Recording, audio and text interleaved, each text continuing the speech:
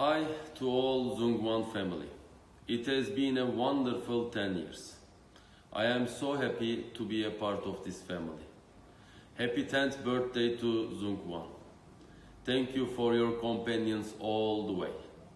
Nice mutlu 10. yaş günlerine Zungwan.